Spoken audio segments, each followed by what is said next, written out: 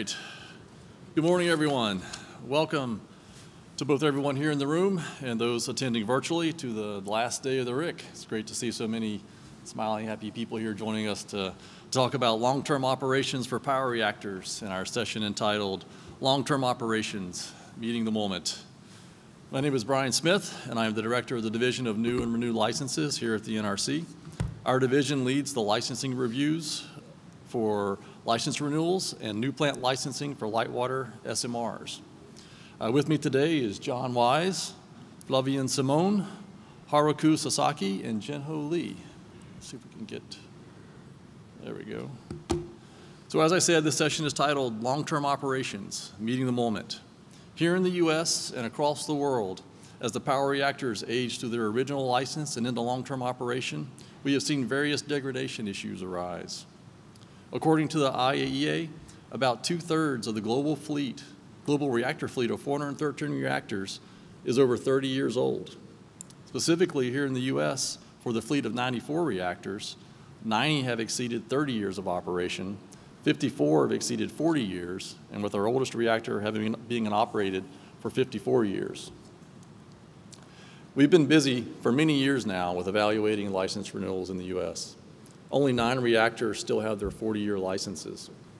78 have been initially renewed for 60 years, and six have been subsequently renewed for up to 80 years, with many more under review right now and, and many more applications expected. Luckily, we are not in this alone. International cooperation continues to serve a valuable role in long-term operations. Through this, we were able to share operating experience and emergent issues with our foreign partners, like we have with us here today. We're able to leverage research programs and share best practices in aging management and regulatory strategies. We do this through bilateral engagements, uh, such as on Monday when we met with Flavien to talk about thermal embrittlement of cast austenitic stainless steel. And on Friday, we're going to meet with Haruko to discuss PWR core barrel cracking and stress corrosion cracking and we've had ongoing discussions uh, with Jinho and KINS uh, throughout the year. We're also active in ongoing multilateral programs, including the IAEA's IGALL program and the NEA OECD Working Group on Integrity and Aging of Components and Structures. Also note that here in the U.S., we are currently updating our SLR guidance with a planned issuance date of January 2025.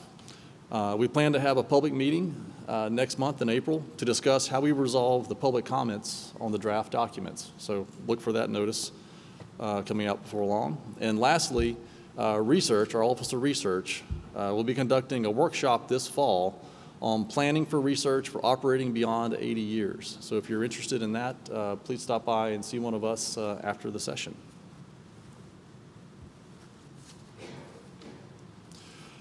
So in this session, we'll dive into aging degradation issues that have occurred during long-term operation.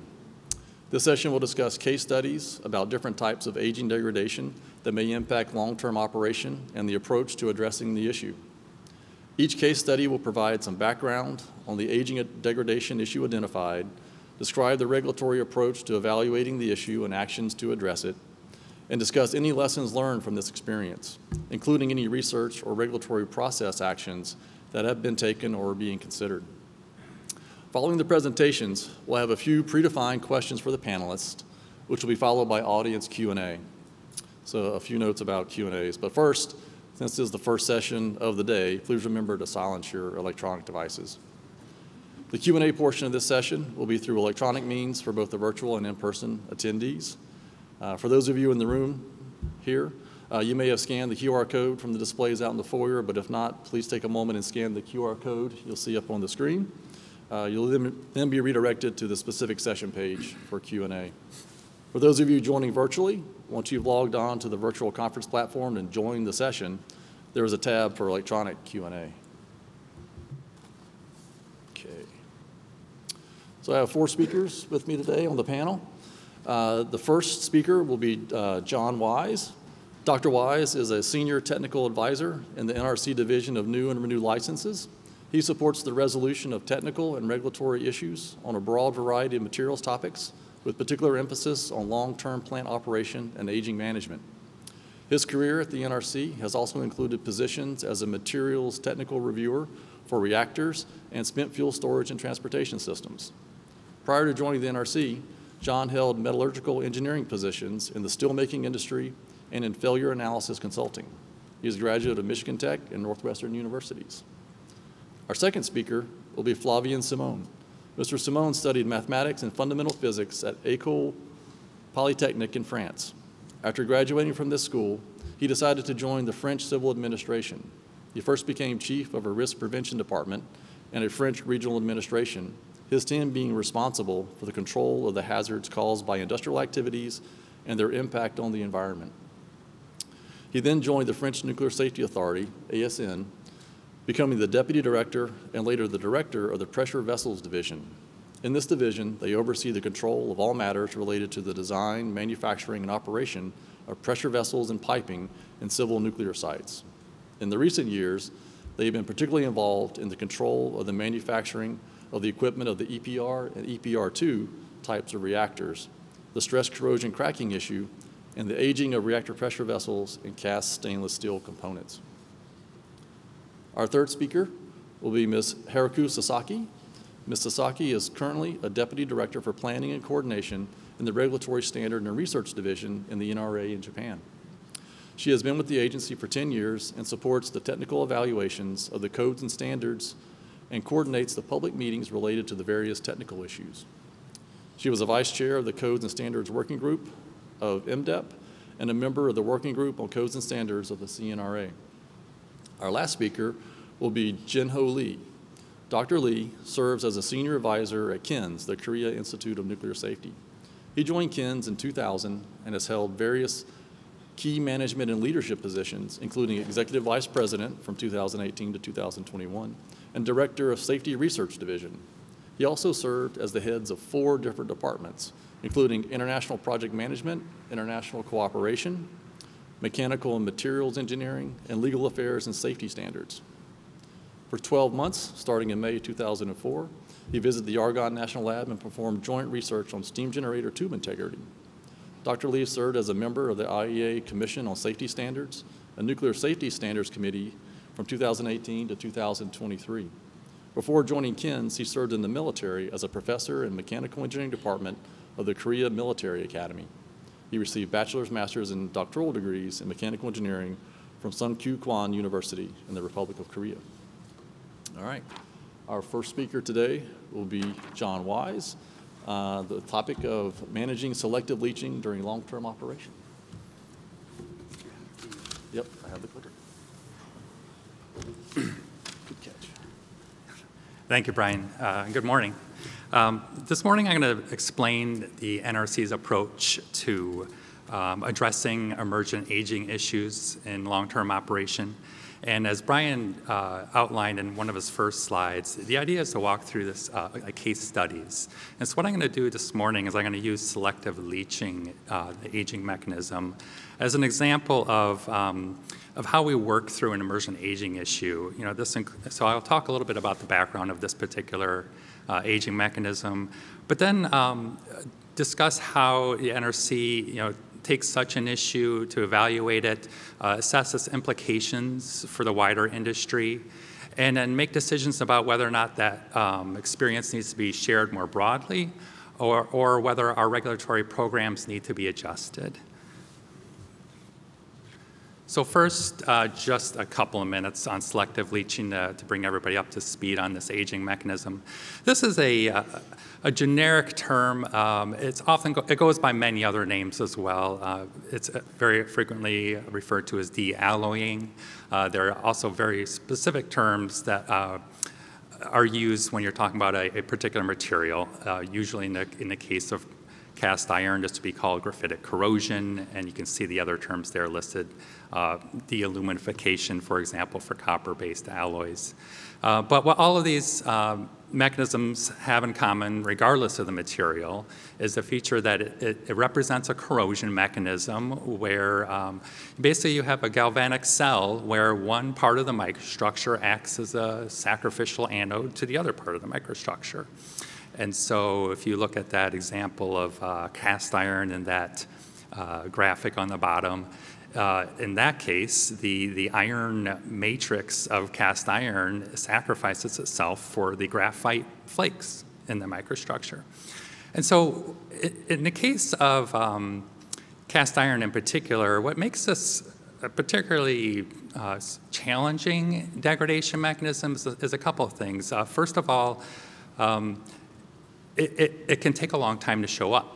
So you may have decades even of experience, um, and and without any any uh, indication that anything is happening, um, but then it emerges uh, later on uh, after many years. And so recognizing that and, and planning for that in our aging management strategy is always uh, something we have to take, uh, keep in mind. And the other part about uh, this mechanism, and again, in, in the particular case of cast iron, is um, you can you can get a significant um, loss in the structural integrity of a component without any really any visual indication that that has happened. In that picture there, um, you, you see a. I took that picture, and it's, it's, a, it's of a cast iron pipe and municipal gas main. And um, I can tell you that there, you can see the rupture there, and the, the pipe itself essentially lost all structural integrity. It didn't have any toughness.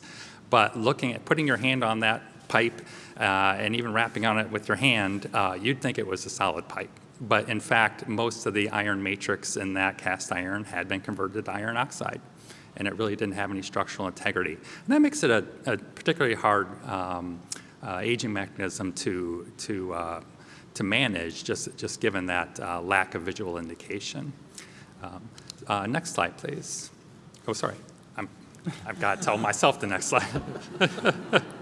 Come on, Brian. yeah. so, yeah. so, um, uh, just very briefly, um, we've had, uh, here's some, some examples of operating experience over the years associated with this particular aging mechanism. In the United States, the experience tends to be uh, uh, associated with cast irons, but you see aluminum bronze is, is also uh, one of the materials that this occurs in. We've had experience in. In that particular case, the, uh, the aluminum is lost in the material. Um, uh, due to the selective leaching mechanism. And I'm, uh, my intent isn't to go through one by one, but just recognize that, you know, we've experienced, uh, seen, seen instances of selective leaching over the years, and in those cases where um, we felt that the, the the experience was uh, warranted a broader communication. You will see those those indications of an information notice or IN numbers at the bottom, and that that's th- those are cases where we felt that the experience was. Uh, significant enough that we as a regulator felt that we needed to issue a communication to the broader industry for their awareness.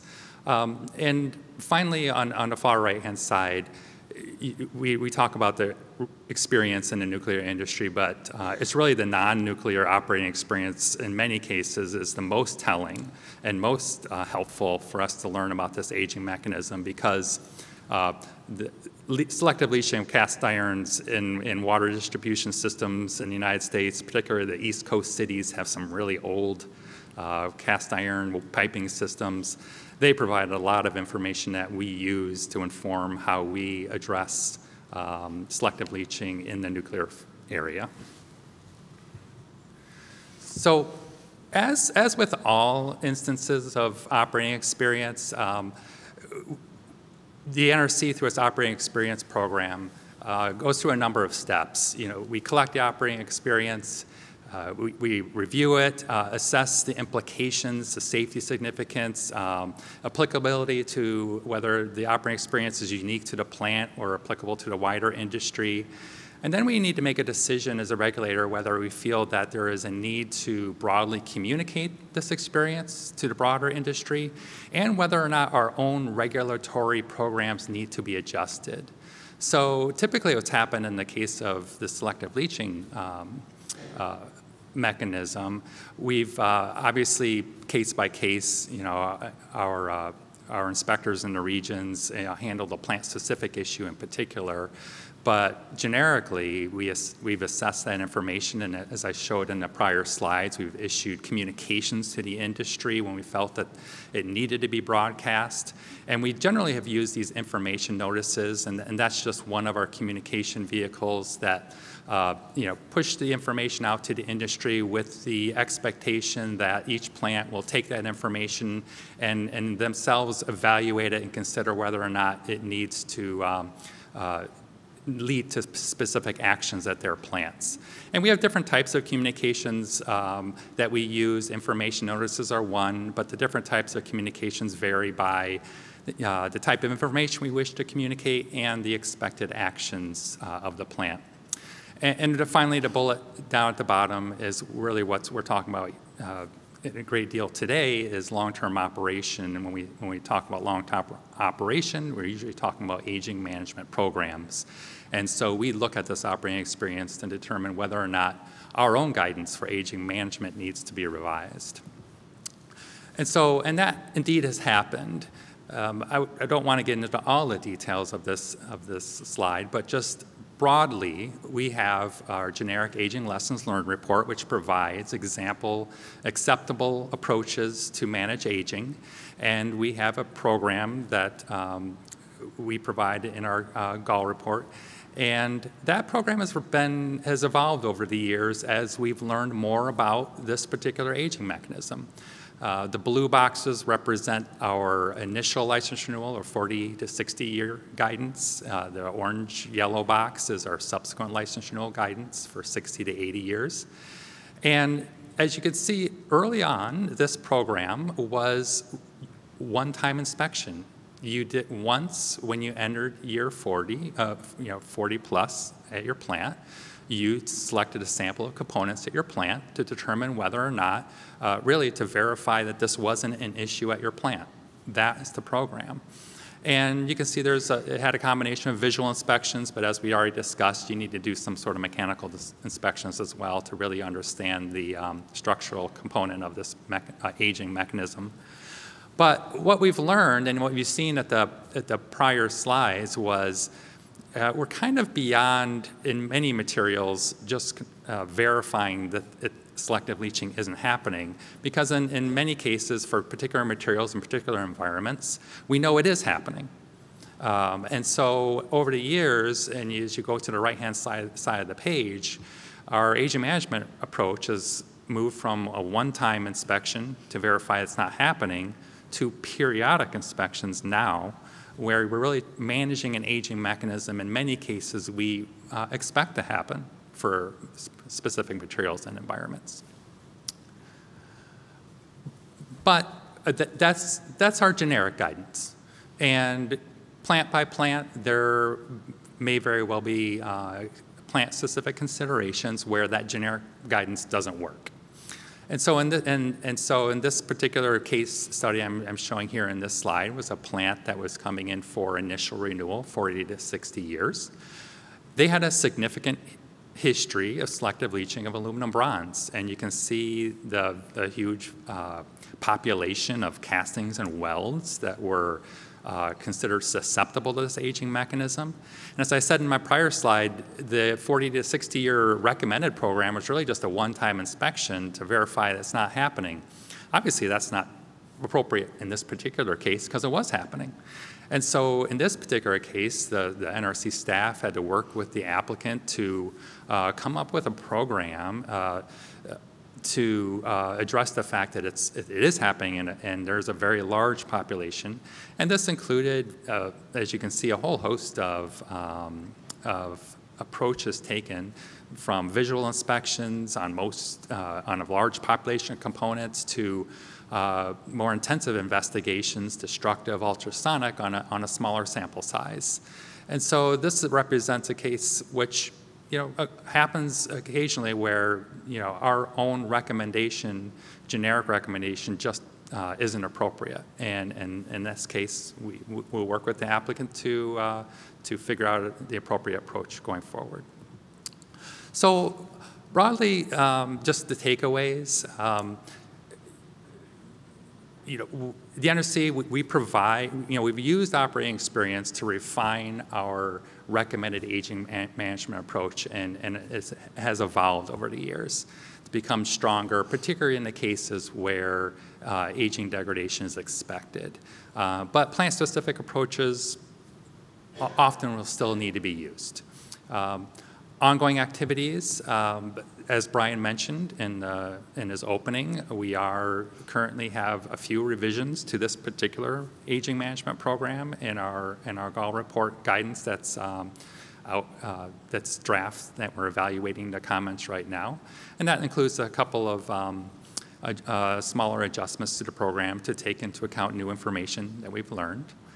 And, uh, and secondly, um, we have had discussions with uh, the industry, particularly NEI, about potential uh, taking a different look at this program uh, where uh, risk information might be brought into consideration to um, uh, perhaps uh, focus resources, I guess I'll say, on those areas that are most risk significant.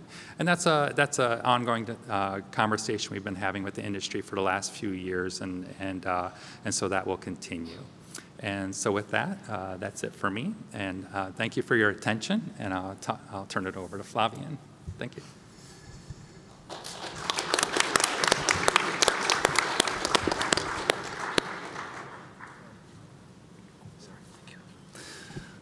So, uh, good morning. The, the topic I'm going to, to talk about is the uh, degradations we faced in France on some uh, cast uh, stainless steel elbows of our main coolant lines.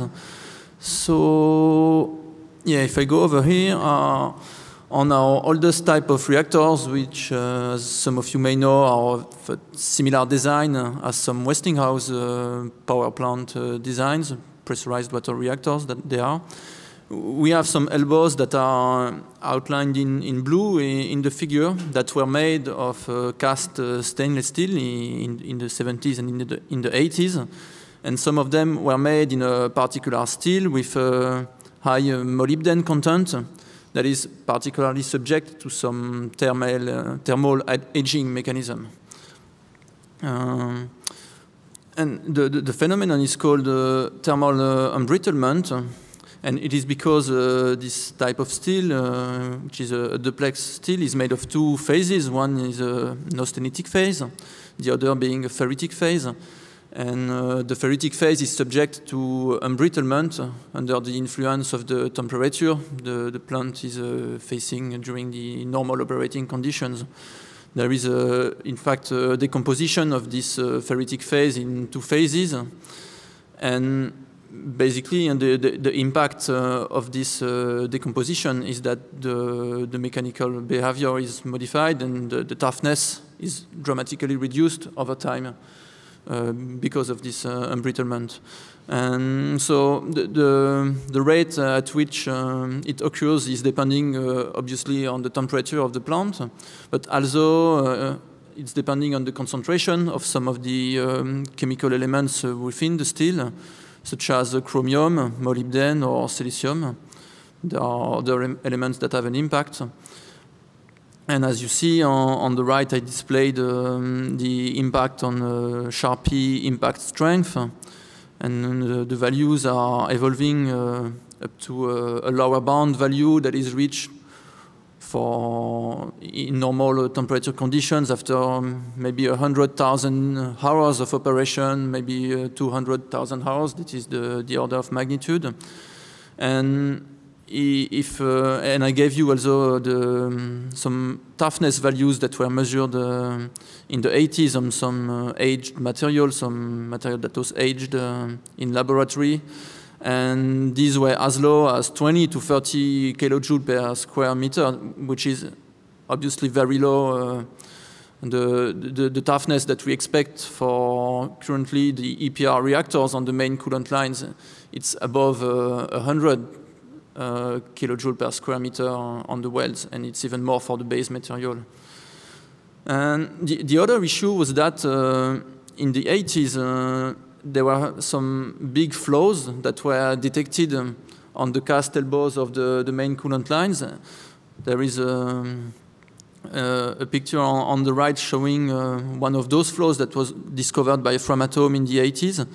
And the, the, the, problem with these flows was that they were not found during the uh, non-destructive examinations that were conducted by the manufacturer. They were found uh, by EDF just before the start of, the, of those plants. So it raised a concern for the ISN because we were knowing that the, the material was subject to a degradation that was impacting its toughness a lot and that there could be a risk of some flaws uh, that were not discovered by the manufacturer and kept uh, within the material.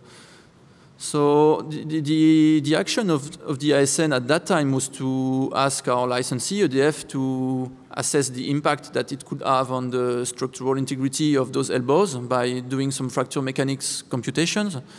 And the first approach was uh, very conservative because we asked them to study uh, the impact of uh, what was called the reference flow, uh, and the dimensions of these flows would be um, a mentioned that would cover the size of the biggest flow that was detected uh, in the 80s on, on the elbows.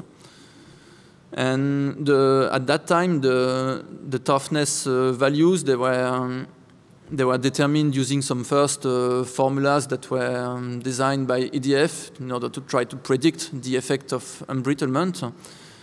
And the conclusions at that time was that uh, an operating period of more than 10 years was justified, but obviously this is way lower than the, the amount of years we operated the, reactor, the reactors now. So there were some further studies that were done, and there were two things that were assessed by the, the ASN in the 90s. First, uh, considering the, the flow that needed to be considered in those fracture mechanics computations, we accepted to reduce the size of uh, this so-called reference flow. And the main reason behind that is that uh, the flows we can expect in a cast material are not as uh, harmful as, for example, uh, a fatigue crack, the, the, fatigue cracks that are used uh, when determining uh, the toughness um, of a given material. So we accepted to use a reference flow that was, in fact, smaller in dimension that, than the, the, the, flows that were observed in some of these elbows. And the, the other aspect was uh, that ASN uh, asked EDF to improve the way uh, fracture toughness was uh, predicted under the effect of embrittlement.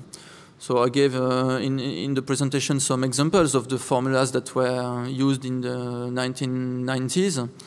They were derived from test material, mostly um, tests that were performed on some aged material, uh, material that was aged in, in the laboratory at different temperatures and for different aging times. And uh, the, the principle behind those formulas being that EDF could predict some values for Charpy impact strength and then using some empirical correlation uh, try to predict the toughness of the material based on the predictions on uh, the impact strength. Uh, so that was the, the, the, initial approach in the 80s and in the 90s. Uh, the, the, issue with that approach is, was that the, the formulas that were used at that time, they were not uh, taking into account uh, test material that was representative enough for long-term uh, operation. And in the 2000 and 2010, we, we had reactors that were reaching 30 and even 40 years of operation. And the, the question raised by ASN was, uh, okay, can we uh, re reliably predict the toughness of those materials? Uh, up to maybe 60 years of operation because we were starting to think uh, about uh, about those those um, those 60 years of operation for for the French fleet. And so ASN asked EDF to launch a, a very important program, in fact, to to try to to revise those uh, toughness provision formulas, to update them, taking into account uh, the, those extended time frames for, for operation. They, so, so, so they, they conducted uh, some tests on more than, uh, wrote, uh, 600 um, ma materials, I mean, um, samples of materials that were either harvested from some elbows that were in operation or also some they used also some some material from the manufacturer that was aged uh, in the lab And so with this bigger database, they updated the formulas, taking into account uh, a lot of input parameters, uh, one being ferrite content, because the, the ferrite content in the steel is impacting a lot uh, the, the, final toughness, but also the concentration of uh, many chemical materials that was um, available from the manufacturer. And so currently we have formulas that take into account all this manufacturing data, and that is at least supposed to predict the fracture toughness with a, a coverage of more than 80% of the test results, this value of 80, 84% being the result of uh, the statistical approach we use in our fracture mechanics computations. So uh, at that time, ISN uh, did uh, its own assessment using uh, the, the, the, the, test material that was provided by EDF, comparing it to the results of those formulas to check that, in fact, we were indeed covering more than 84% of the results. So the, the, the results were quite uh, satisfactory. The, the, database was also covering um, some samples that were aged uh, up to 200,000 uh, hours, which was enough to cover up to 60 years of operation. And so uh, with that, there were some new uh, fracture mechanics uh, computations that were performed and that showed that the most of the elbows that are on the hot leg, that are the ones that are subject to the highest temperature, could be operated up to 60 years of operation. Uh, and the same uh, demonstrations were done on the other elbows that are exposed to colder temperatures. Uh, and most of them were also, also um, justified. The, the, issue being that some elbows with the highest ferrite content could not pass those uh, fracture mechanic tests and therefore should be replaced uh, before the, this uh, 60 years um, time frame. Uh, this is the current, uh, the, the, highest current concern for the ISN because some of these elbows are not easy to replace, uh, especially the ones that are directly welded to the RPV uh, due to high dose constraints. And so our, our, current perspectives on that is first to study uh, the opportunity to replace some, some of these elbows. It is kind of easy, I mean, it's never easy, but kind of easy to do for some of them that are not close to the RPV. It's way more complicated to do uh, on the other case. So that's something EDF, and uh, we agree on that, doesn't really want to, to do. Uh, so, so the other perspective is to improve the way we inspect those elbows to make sure that there are no flaws that would uh, threaten their structural integrity. Even though the, the, toughness is low, if you don't have big flows, uh, the issue is not as high. Um, the problem being that it's not easy to inspect uh, cast uh, stainless steel uh, because of the, the structure. Uh, for example, U UT waves um, penetration is not very good. Um, so there is currently some research to try to develop some process that would at least be good to uh, inspect the first 10 to maybe 20 millimeters uh, from the, the, inner wall because that is the part that is subject to the highest stresses, for example, during uh, a LOCA accident. And uh, other perspectives being, um, being reviewed uh, at the moment by EDF and the ISN are using some new fracture mechanics hypotheses that would be less conservative, that would take into account in a more precise way um, the, the constraints that are um, generated by those flows and the, the um, in, indeed at the moment uh, we are only using some toughness values that are determined on some standard uh, test samples that are in fact assessing uh, the toughness when you have a crack. We know that um, the type of flows that we have on cast stainless steel are not as harmful as cracks, but it's very difficult to know what is the precise difference and how to quantify it. So this is some ongoing research. At the moment, uh, ISN still asks for some uh, conservative uh, fracture mechanics assessments. This is one perspective also. So just to say that this, in order to, to wrap this up, uh, this is not a new uh, degradation issue that we are facing. In fact, we were aware of it uh, since the 1980s.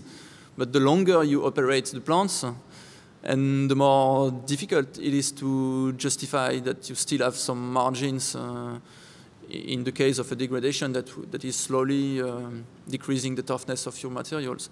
So the, the, longer we operate and the more precise the, the justification or methods uh, have to be. And this is the, the goal of ISN is to make sure that even if you get into more precise uh, physical models, uh, fracture mechanic methods, you're still conservative enough in order to, to maintain a, a high enough safety, uh, I mean, safe enough operating conditions. And I think that's it. So thank you for your attention.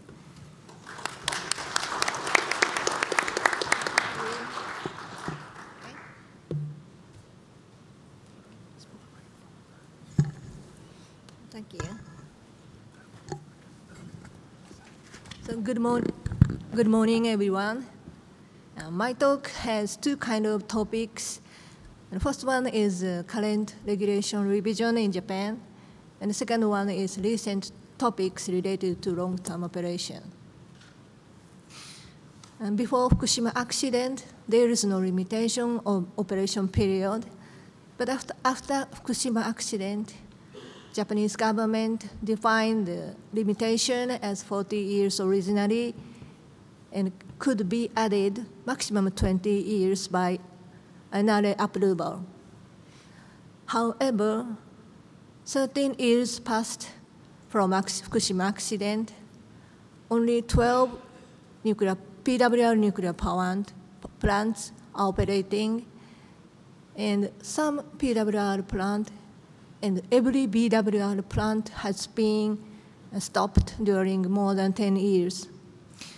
So Japanese government made the new policy and the act related to reactor, uh, nuclear reactor was revised last year. Uh, current regulation period, as mentioned before, and after 2025, new operation period will be started. And the new operation period, uh, operation suspended period can be added after 60 years. So, operation suspended period means the period of conformance review of NRA, mainly. And operation period will be reviewed and approval of the Ministry of Economy, Trade and Industry. Of course, new system for aging management will be done by NRA as uh, similar as before. Next is operating experience. First case is steam generator tube cracking at Takahama Unit 3. The tube material is TT600 alloy, and there are two kind of technical issues. First one is PWSCC. In early 2000, PWSCCs were found in 21 tubes, and the licensee conducted shot peening for, for residual stress relaxation. During 10 years, there, is no, there was no indication it's good.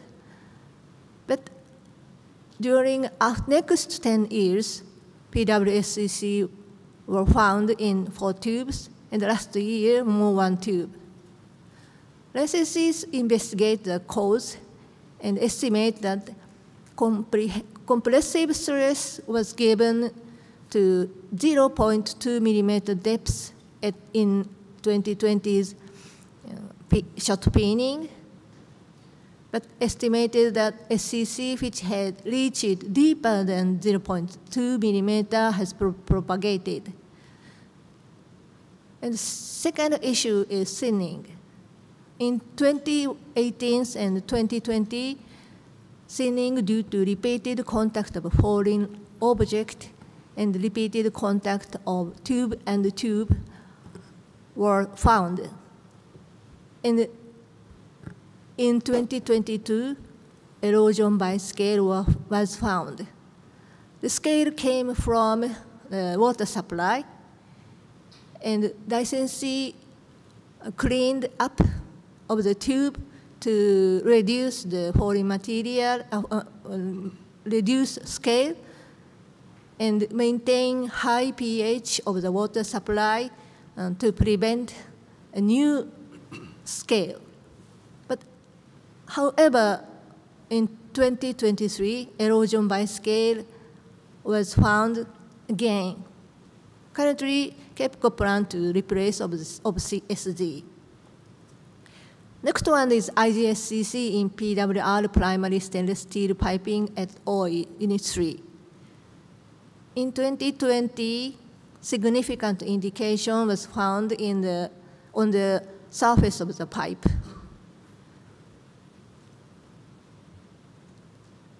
This is, this is a photograph of the cross-section of the crack. The size was 3.6 millimeter depth and 6 millimeter length. So it's very big crack for us, and we were very surprised. And the licensee investigate the cause and estimate that the cause was excessive welding heat input and the surface of the pipe was hardened and the crack was occurred and propagated. Ah, sorry. In this case, uh, in further investigation is conducting now, and we NRA hear from the uh, licensee the result of the investigation every year. Third one is reactor shutdown due to rapid decrease of PR neutron flux at Takahama Unit 4. Uh, last year, the reactor suddenly shut down, and the licensee found that, sorry, uh, connect cables, sorry, cables put on the, the other cables, and the cables ah, sorry. Cables are pulled and soldering peeled off and the cables disconnected. Of course, this case is uh, non-conformance of the construction. But why now? It takes more than 30 years from construction. So we think there is possibility of the degradation of the material, such as soldering.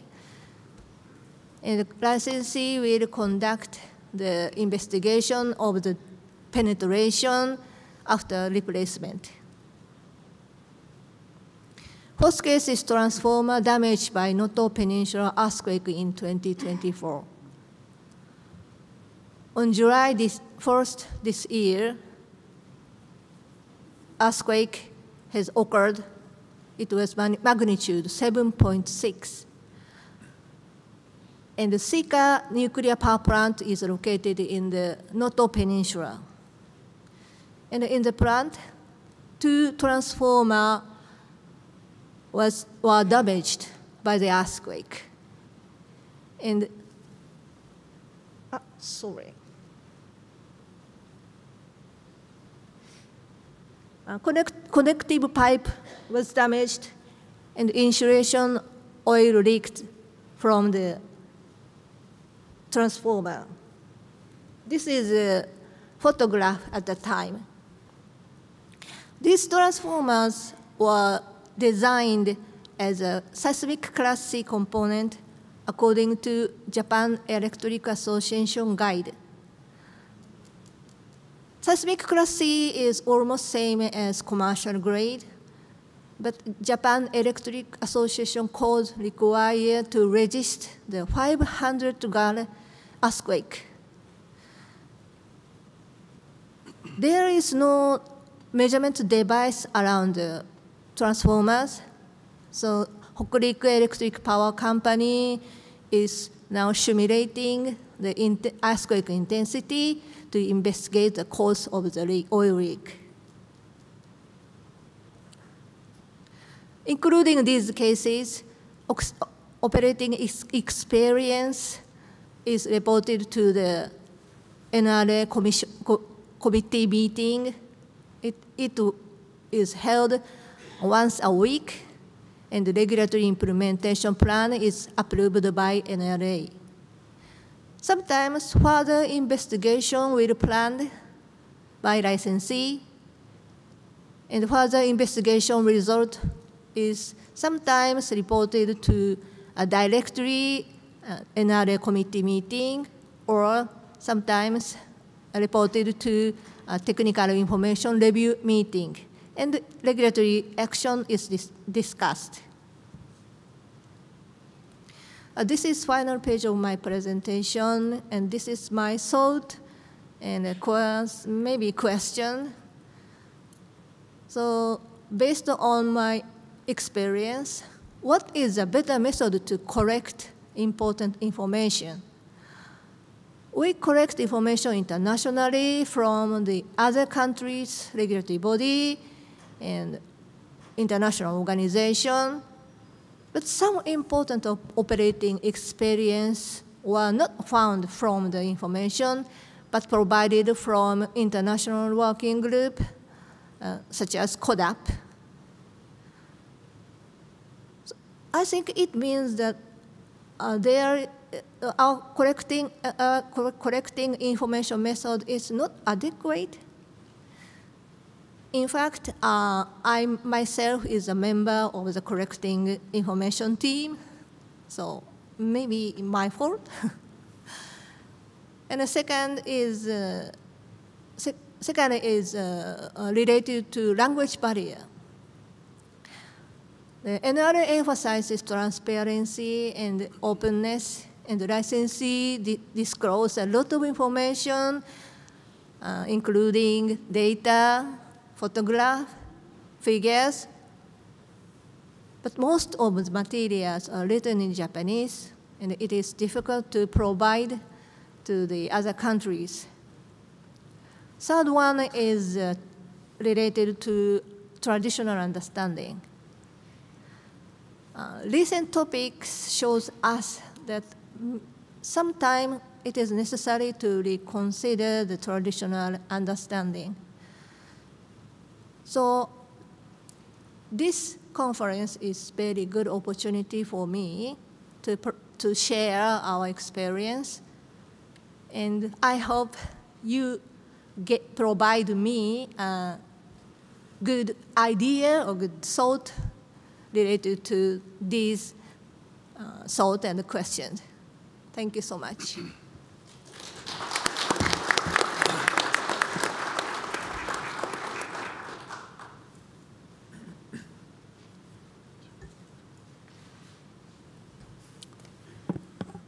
Uh, I'm very pleased to uh, share current experience on aging degradation in Korea with you.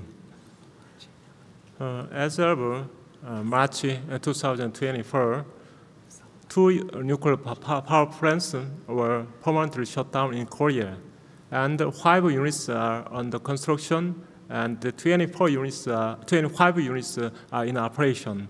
The average operating year uh, is 24 years. Uh, seven of them uh, is uh, operating are operating uh, more than uh, 36 years. This indicated that aging management uh, is becoming more and more important in Korea. Uh, the upper uh, table shows the status of permanent shutdown in Korea. Uh, Kori Unit 1 was uh, uh, operated for uh, 10 years uh, beyond its design life. And Wolsong Unit 1 was uh, operated uh, for less than 10 years uh, beyond its design life. In any case, they were permanently shut down for political reason, not safety reasons. Uh, after uh, changes in uh, energy policy uh, for uh, continued operation, uh, seven nuclear power plants applied for continued operation these days. Uh, and it is expected that uh, 10 to 12 nuclear power plants will apply for continued operation by 2030. Uh, this slide shows a regulatory uh, framework for continued operation in Korea. The continued operation system was introduced under the framework of PSR, Periodic Safety Review, with reference to the US license renewal rule. Uh, the PSR system and uh, the continued operating uh, system was, uh, were introduced in uh, 2001 and 2005 uh, respectively. In PSR system, as you know, the safety assessment should be uh, conducted uh, at regular intervals, uh, uh, typically every 10 years. Uh, under this framework, the aging management have to be implemented during uh, the operation of nuclear power plants, as well as uh, during uh, the continued operation beyond its design life. In this respect, I think that I can say that the aging management has become a living system in Korea. In order to uh, reflect uh, Fukushima lessons learned from Fukushima accident, the Korea regulatory body issued an administrative order uh, requesting implementation of 50 uh, action items. One of the action items is to uh, develop and in, uh, implement uh, an integrated aging management program. In response to this order, the Korean utility KHNP developed an integrated aging management program. Uh, through that, uh, currently, each nuclear power plant has uh, one integrated AMP procedure and about uh, 30 to 40 individual AMP procedures. The licensee also developed the IT-based system called AMP uh, implementation management system.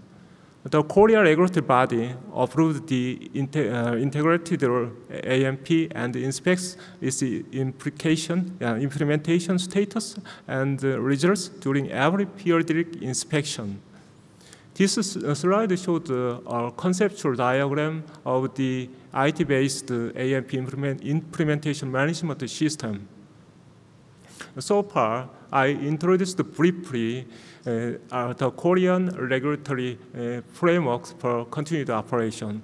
Now, I'd like to introduce recent aging issues. The first one is uh, leakage in in-core instrument uh, guide tubes. At three nuclear uh, power plants uh, in operation for more than 30 years, leakages have been found during uh, their uh, planned overhauls. Leaks were confirmed in the ICI tubes and they were uh, detected in the form of boric acid precipitation. Boric acid uh, deposits were uh, uh, found in one uh, curved section and found uh, in several uh, horizontal uh, joint areas of uh, ISI guide tubes. Through root cause analysis, uh, it was found that uh, the high uh, chlorine, con- uh, chlorine content lubricant uh, was, were used uh, during uh, seal maintenance in the past. The concentration of chlorine ions was intensified due to stagnation of the of high temperature reactor coolant, uh, and it is thought that this uh, created a corrosive environment. In addition, uh, microstructural analysis showed uh, non-metallic inclusions such as silicon carbide. It was found that uh, the, these non-metallic inclusions were introduced during the manufacturing process. From this, uh, it can be concluded that uh, the root cause of uh, uh, ISI guide tube leakage is pitting corrosion due to uh, corrosive wall chemistry and non-metallic inclusions. There are measures uh, uh, such as uh, uh, chemical analysis at all nuclear power plants uh, and the reduction of impurity concentration through gravity drainage and direct visual inspection have been um, taken as corrective actions. In addition, the, the previous, the existing AMP was improved by conducting uh, effective ba- BA, BAC, boric acid corrosion program, and by adding uh, local uh, water chemistry analysis.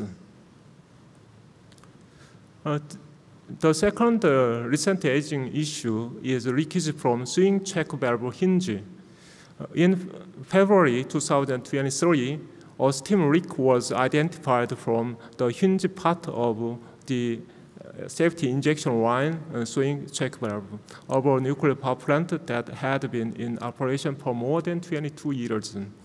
Left, left picture shows RCS line, uh, safety injection line, and check valve. Uh, steam leaks and cracks uh, were uh, found uh, in the valve body near hinge. Through root cause analysis, it was found that corrosive environment was uh, created due to ionized, ionized lubricant and uh, stagnant reactor coolant between valve body and retainer. Uh, In addition, uh, it is thought that excessive torque was applied because no specific torque value uh, was not provided in the manufacturer procedure uh, in the past. Uh, it is thought that the high stress was uh, caused by uh, fastening retainer and frog bolt with excessive torque. Uh, through this, it, it, uh, it was concluded that uh, the root cause of leakage is uh, TGSCC, transgranular stress corrosion cracking, uh, caused by stress and corrosive environment. Uh, measures such as visual inspection, uh, using high resolution uh, endos- um, uh, endoscope camera, uh, and uh, uh, uh, shortened the monitoring cycle uh, have been uh, taken as uh, uh, corrective actions. Also, uh, some uh, improvement of the uh, design and, uh, uh, to, to eliminate the blind spot uh, through the uh, design improvement wa- was also taken. Uh, as a concluding remarks, I would like to mention lessons learned from uh, recent aging issues. Aging management, management should be a, a living program. Uh, proactive measures should be taken to eliminate blind spots. Operating experiences should be reflected uh, into the aging management uh, in a timely manner uh, to meet the moment efforts should be made to utilize today's innovative and uh, clip edge technologies. The, and also, the mindset should be changed at the same time. Thank you for your attention.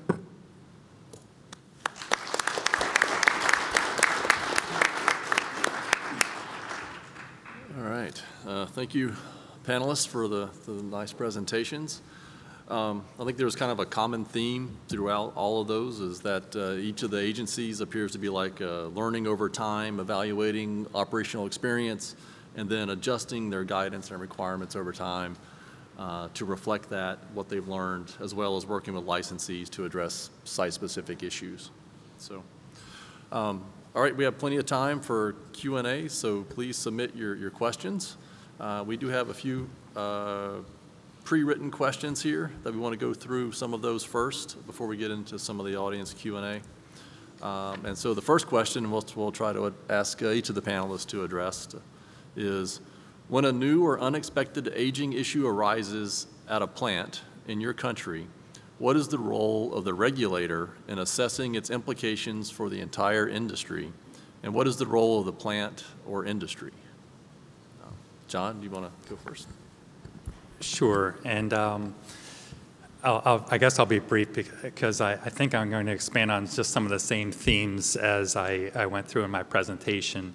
But you know, the NRC has a you know an operating experience program, and we have uh, an internal instruction that guides that program. And for those that want to look it up, it's LIC uh, 401, I believe, uh, LIC 401 and um, it's available publicly.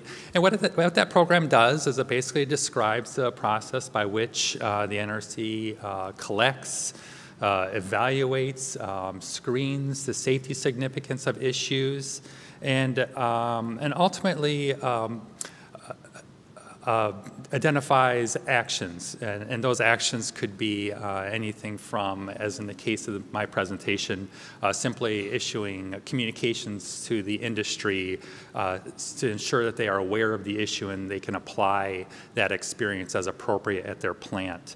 Um, but the actions could also become um, something more broadly than that. For example, uh, uh, very time sensitive, high safety issues, um, there could be a, a, regulatory action, something as extreme as, say, an order, where there's an expectation the plant take an immediate action. But, but longer term, uh, this same process I'm describing, our operating experience review process, uh, directs us to look at our broader programs. Um, does, that operating experience cause us to revise our, should cause us to revise our guidance? Or is rule, uh, change in a rule um, uh, justified, or change in our inspection program, or, or even longer term uh, change in our research program? And so by this process, you know, again, we call it the LIC 401 or uh, LIC 401 process. Um, it, it kind of guides the staff through all of those steps. You know. And, and, but outside the NRC, you know, we have, there is, uh, the, the plants in some sense do the same thing, right?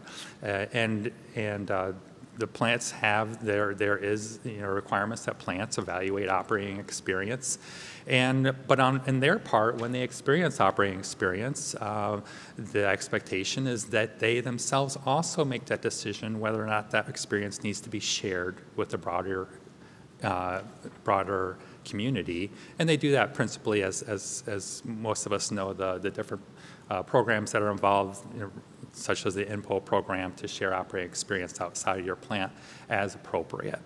And so as part of our licensure renewal review, we, we actually do take a, a look at that program from the aging management perspective. Uh, directs the staff to look at the applicant's process just to ensure that uh, long-term aging issues too are evaluated uh, and as appropriate, you know, not only evaluate for at their plant, that experience, but, but also pushing that experience out to the broader industry. Um, with that, I guess I'll, I'll just turn it over to any of my other panelists. So first, there is something particular in France because we have uh, 56 operating reactors, but we only have one licensee. So th this makes the landscape uh, a bit different from what it is, for example, for NRC or other, um, other regulatory bodies. So the discussions will be one-to-one one to one between our licensee and the ASN. And the, the, I would say that the, the licensee's responsibility will be to, to take actions in order to, to assess the issue. Um, first, to understand its causes, then its uh, implications on the safety of its plants, and after that to take the correct uh, mitigation uh, actions. And the role of the ASN would be to make sure that these uh, actions are appropriate, and if not, to make the licensee take the, the appropriate actions.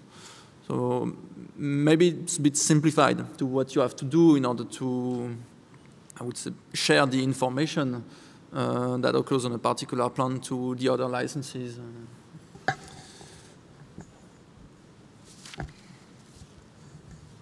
Uh, of course, licensee and industry uh, are required to investigate the, the cause, but NRA is very active and play a good role to, in assessment to identify the safety impact. And if the aging, aging issue is very important to safety.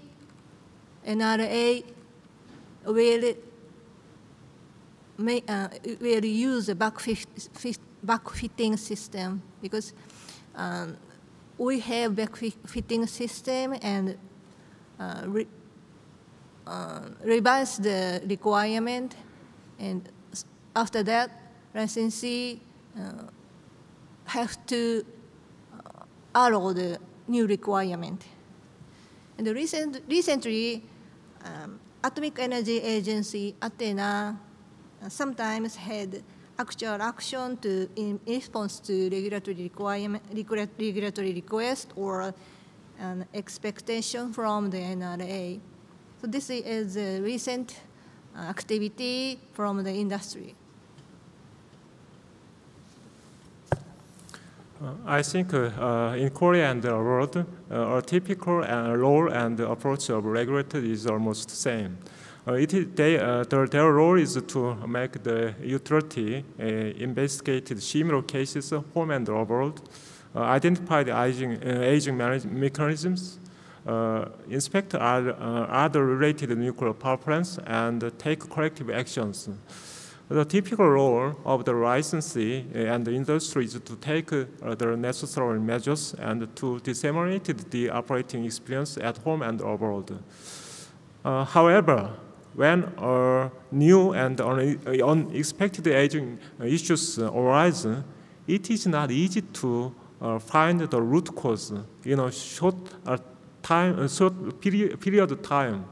therefore, I think that it is important to regulator, for regulators and uh, authorities to conduct uh, R&D appropriate to their respective roles. And in parallel with this, uh, I think it is necessary to continuously find and eliminate uh, blind spots through mid and long-term R&D. Thank you. All right. Thanks, everyone. All right. Sorry, move the microphone back. So another question that I think most of us on the, on the panel here might be able to answer is, as nuclear power plants operate for longer periods, what challenges do you see in preparing for and mitigating new or more significant aging mechanisms? Uh, start with Flavien. You want to take that one? Okay, start. Uh, one of the biggest challenges, and it may also be uh, particular to France, is that we have a standardized type of reactors. So there is always the possibility of an aging mechanism appearing and quickly impacting a lot of reactors and therefore threatening the, the, the electrical power supply, uh, which obviously makes things a bit more difficult even if the regulator is not directly concerned with uh, energy production. Uh, so I think th this uh, raises the uh, importance of um, of inspection in order to detect uh, the more quickly, in, in, yeah, in the more reactive way, uh, the, those new aging mechanisms. Uh, it is uh, very important to to be able to to detect them quickly in order to take reactive actions, and for that, I think we need first, obviously, to take into account uh, French operating experience, but also international experience. As you have pointed out in your presentations, I think this is very important. We may not always be reactive enough uh, to share some information. Uh, you raised the SCC. Uh, uh, and another important thing is that there will always be uh, some things we can predict, but there will also sometimes be some things we, we were not able to predict. And what we faced in France with uh, the discovery of SCC impacting um, a lot of reactors, sometimes with a high number of uh, cracks affecting some safety significant uh, pipes, uh, it was completely uh, unpredicted.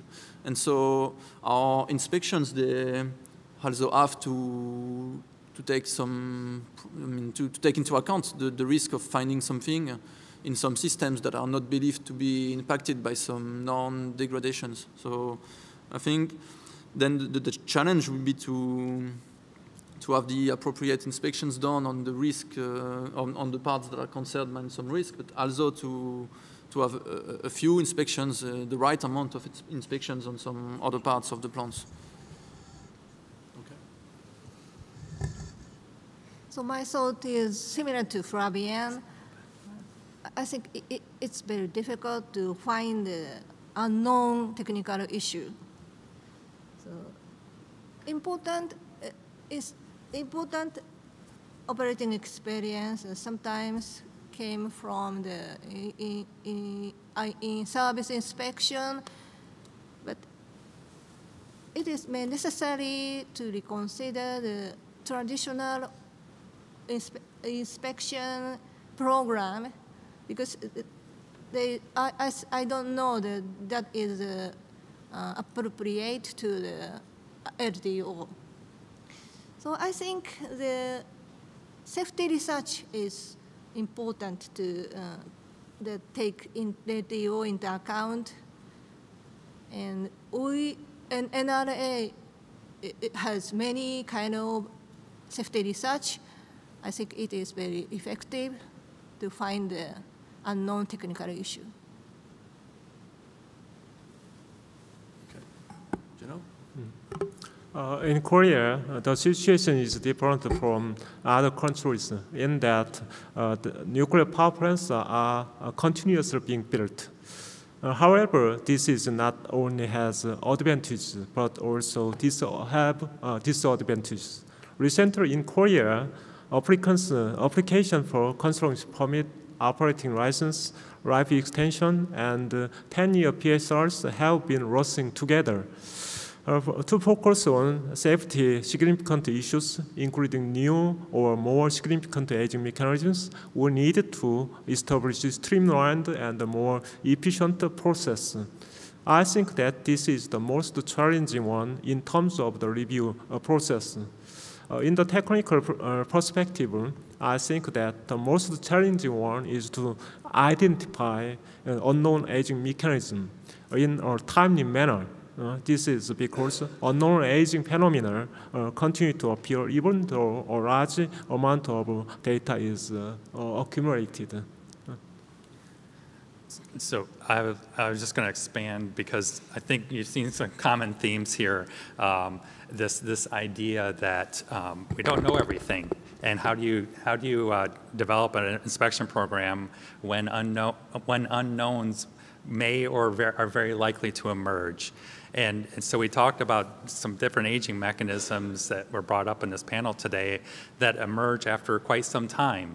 And so if, if, if a um, you know, eh, eh, you we're all, we're all um, always looking to be more efficient in our inspections. And as, as, the, as in regulators, we're often provi- uh, presented with proposals to take a, you know, more risk-informed approach to our inspections. You know, don't look at the, spend so much time looking at the components where, where the past uh, evidence of failures just isn't there, for example. But what the, what, the, what the struggle of the regulator is, is you know, how do you handle the unknowns, correct?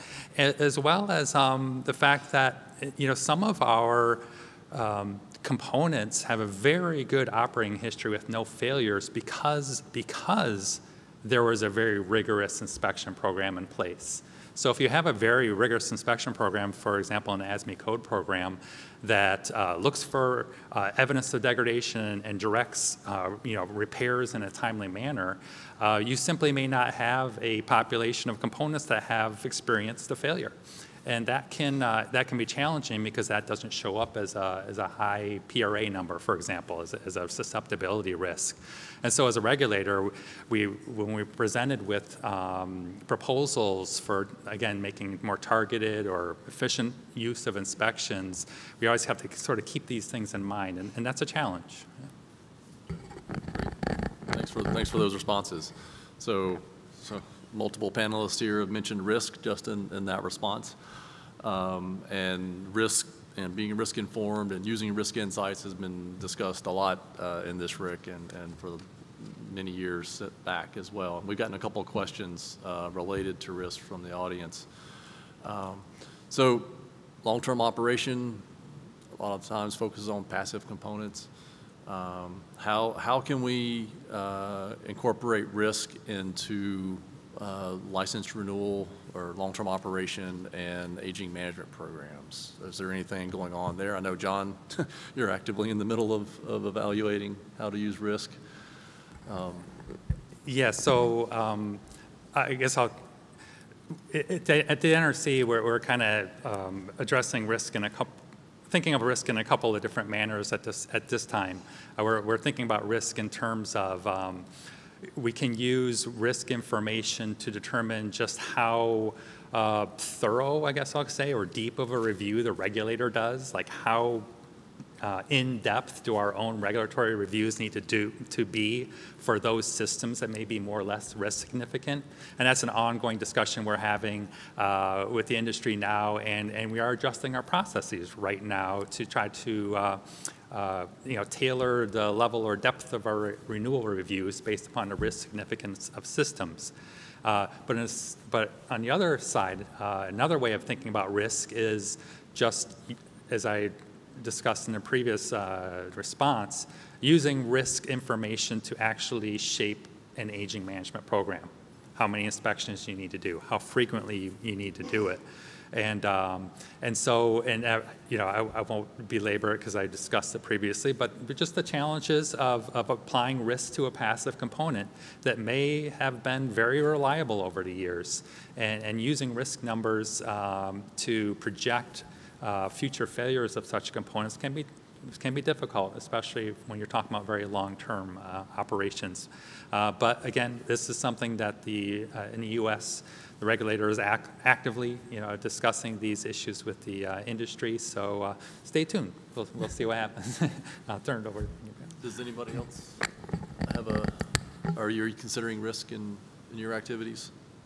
You don't have to answer, but Maybe some, something uh, on which I can uh, elaborate from John's uh, answer is that, of course, we need to know what are the actions taken when there is a risk that is known and if they are appropriate. But on components that are not subject to any known risk, uh, we still need to know what will the licensee do, and maybe one of the precise things to, to look at is uh, what is the sampling rate of uh, inspection programs that are planned for those type of components. I know there are some rules in some of the, the codes, ASME has some basic sampling rates. Uh, in France, we don't have those, which means that uh, when you're not doing an inspection program on a, on a risk-informed base, you don't have any reference at all to assess the proper sampling rate. And I think this is something we need to think about in the next years. Um, because it's quite a concern for me to have um, big, sometimes important parts of our plants which are safety significant and which are not undergoing any inspection at all, to determine what would be a, a good sampling rate uh, in the future. all right. Um, So we had another question uh, come in. Um, I know this, it's addressed to, uh, to Jin Ho, uh, but I think Haruko, uh, you mentioned this as well. But in your remarks, you mentioned utilization of artificial intelligence and aging management. Can you elaborate on the potential and possible app- applications of it? Uh, uh,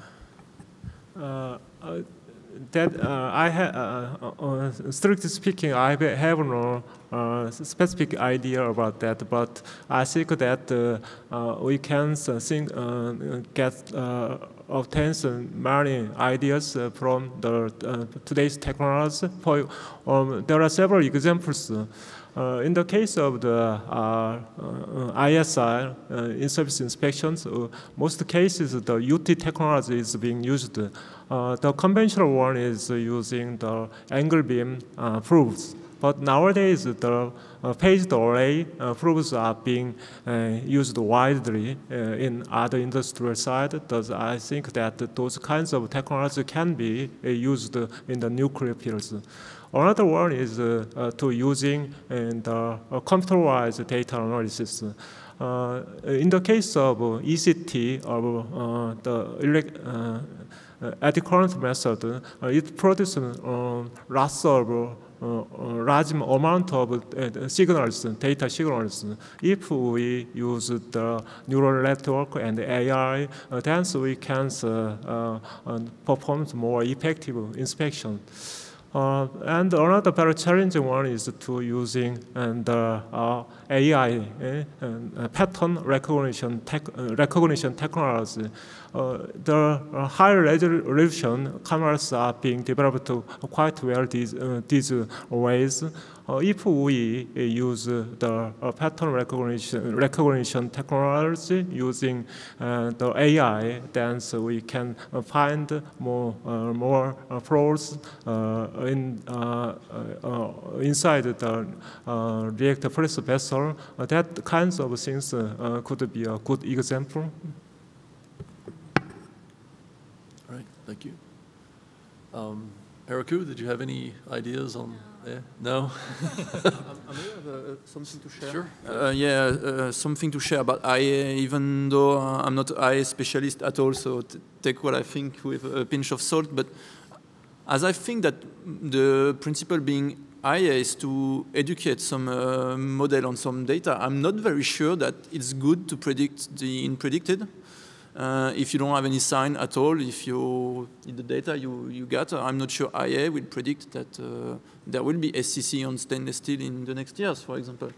So uh, I think we need to be, as regulators, uh, careful about uh, the design of some inspection or aging management programs that would be only based on IA predictions. Okay, thank you. We just start. We we just started to learning about the new technology, and uh, we are collecting the information from the other countries. Okay, This is Okay. our stage. okay. Okay, uh, a question for you, Haruko. Um, Was there any consideration for aging that occurred during the 10-year shutdown? Or because the plants were not operating, was that time assumed to have no deleterious effects? It's a very difficult question. Uh, you, what you mean is uh, uh, im- impact to the industry? Okay. From a, yes, from like an aging standpoint of the plant, Yeah. um, was there anything specific you considered regarding the time that it was shut down? Yes, and this is my opinion, but um, licenses uh, uh, in confusion just now, and they are trying to do something for, uh, for example, um, technical research, safety researches, and um, trying to use uh, uh, risk information method to, to explain about the conformity of the regulatory requirement. Uh, but uh, just now, uh, balance between industry and regulatory body is very uh, not equivalent because uh, licensee wants to start the, their plant, but uh, we have very strong deterministic regulatory requirement. So uh, I don't know how, what the uh, licensee situation, but it, it's very difficult to uh, explain about that. Sorry. Okay, all right. Uh, We, we talked about operational experience a good bit up here and, and the evaluation of that. And so, um, so given the implication, the worldwide implications of aging management, um, how do you incorporate international operating experience uh, into your guidance? Um, And how do you share operational experience with our international counterparts? Um, John, you want to take a shot? I'll, I'll just kick this off. Um, So a, a- a few, a few mechanisms. First, first of all, I know there, there are, you know, international operating experience databases that we certainly can pull from.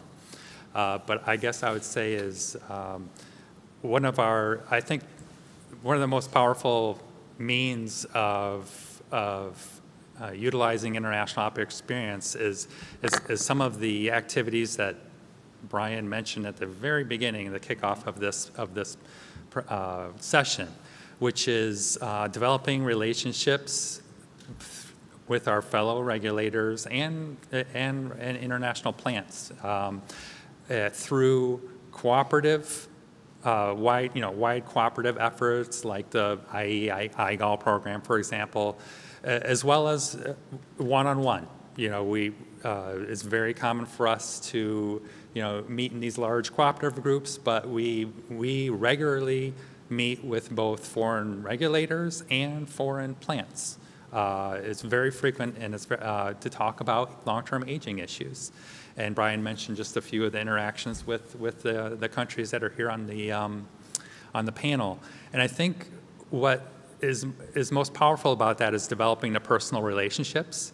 Um, because when something happens, uh, and I'll just use an example of, of the, the French operating experience where they had cracking.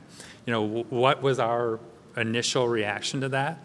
Well, that was to uh, have um, our senior technical advisor, Dave Rudland, get on the phone and, and say, Dave, call all your contacts in France and get all the information you can get.